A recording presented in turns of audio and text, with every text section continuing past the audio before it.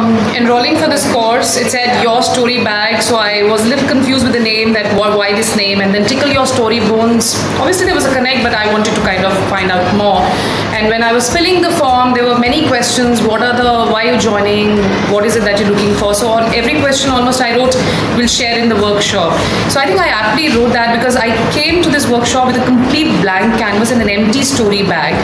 And uh, this course, this workshop is so well and structurally organized. And Ritu, um, I, I don't have words for that. I don't want to call you ma'am from now, so it's Ritu because it gives more bonding, more uh, uh, connect, and we truly love you for giving us what you've given. So now we're all um, going back with a bag full of emotions, bag full of expressions.